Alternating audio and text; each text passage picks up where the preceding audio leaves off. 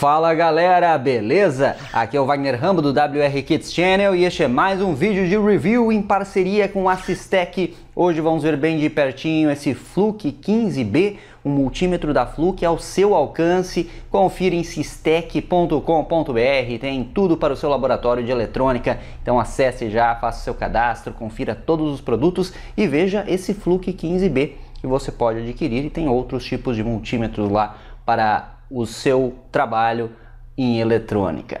Vamos conferir o review, segura aí! Confira o anúncio no site da Sistec e tire suas próprias conclusões, mas está aqui o Fluke, ó. E eu falo para vocês que a primeira palavra que me vem em mente quando eu penso nos multímetros Fluke é robustez. Você logo vê que isso aqui é plástico de verdade. Ele é muito robusto, muito firme. Eu gosto bastante da pegada dele também. Ele tem essa proteção aqui que você pode inclusive facilmente tirar para limpar de vez em quando. Tem o pezinho de apoio, que é muito útil para o trabalho na bancada. E aqui atrás vão as pilhas, e as pilhas são as pilhas AA, a pilha comum mesmo, duas pilhas AA. Então vamos ver as medições e checar os principais recursos do multímetro Fluke 15B. Aqui estão os cabos dele, também são muito robustos, bem bacana. Eu vou conectar aqui, olha só o plug que show, plug banana, tá aí. Então ele fica bem firme no multímetro. E a primeira, o primeiro tipo de medição que temos disponível aqui é o de tensão alternada, tá aqui. Então a chave dele também é muito boa, que encaixa muito bem em cada uma das opções. Já vou medir direto a rede. Então vamos pegar aqui, conectar aqui na tomada. Tá aí, ó, 231.4.5 volts AC. Ele é claro que tem o recurso de hold, posso trancar a medida dele, então deixar salva aí para verificarmos. A próxima medida é a de tensão DC, então estamos com a fonte de bancada aqui. Canal 1 está para 11.5 volts e os outros dois em 5. Eu vou liberar a saída da fonte. Então vamos fazer a medida aqui. 11.48, lembrando que a medida do fluke é mais precisa do que a do próprio voltímetro da fonte. 4.99 volts. E aqui, canal 3, também 4.99 volts. Outra medida muito útil para nós que trabalhamos com eletrônica, eletrônica miniaturizada aí é a medida de milivolts aqui. Então, em milivolts podemos ajustar uma tensão aqui na fonte agora para testar. Vamos colocar, por exemplo, 0.2 e aí vamos ver o que o multímetro vai ler. 200 milivolts, vamos colocar aqui.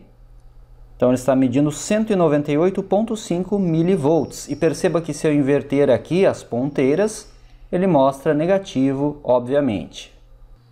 Na tecla Range você seleciona o Range, pode deixar em automático ou pode selecionar o Range que está trabalhando. Agora vamos verificar aqui medida de resistência, pegar um único resistor aqui para você conferir. Então esse resistor tem 150 ohms. Tá aí 146.9 0,8 ohms. Perfeito. E aí o botão amarelo seleciona entre as outras opções, aqui tem medida de diodo, claro, e medida de continuidade. Clico aqui, diodo. Vamos pegar também um diodo aqui fazer a medida. Então colocando o negativo no catodo e o positivo no anodo, temos a queda de tensão. Nesse caso aqui está em 0,529 volts. E é claro, tem a medida de continuidade, bastante útil. Clica de novo e ele soa o buzzer quando reconhece a continuidade. Tem o capacímetro, que também é bem bacana. Então é este recurso aqui. Então estou aqui com um capacitor de 1 microfarad. Sempre temos que descarregar o capacitor, nesse caso aqui eu já descarreguei ele antes de realizar a medida. Vamos colocar aqui e ver o que o multímetro vai registrar. Legal, 1.043 microfarad. E para encerrar, vamos efetuar uma medida de corrente. Eu passo a ponteira vermelha para cá, miliamperes, microamperes. Estou com um projeto que desenvolvemos aqui no canal, o alimentador programável de PETs, e temos aí a fonte registra um consumo de uns 30 miliamperes, como você está vendo aqui. Então, para medir a corrente é muito simples. Conecto o positivo aqui e o negativo do multímetro vai no positivo do circuito. Então, vamos ver. E fechou com a fonte, ó. Estamos aí em 25, alguma coisa miliamperes. E como eu mencionei, o registro do multímetro Fluke é mais confiável do que o da fonte de bancada. E aí você pode medir correntes até 10 amperes neste recurso e conectando o vermelho aqui, e correntes da ordem de microamperes, o que também é muito útil, e todas AC ou DC que você alterna aqui pela tecla de funções. E é isso, galera, uma excelente pedida para você, super dica da Sistec, multímetro Fluke 15B. Acesse sistec.com.br, confira e vale a pena mesmo você investir em instrumentos de qualidade para o seu laboratório de eletrônica, pois aí os seus projetos rendem muito mais.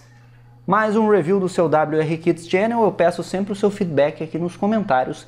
Diga o que está achando de nossas videoaulas e em caso de dúvidas também sobre esse cara aqui, comente, havendo tempo respondemos, senão até o João da Sistec pode responder vocês aí.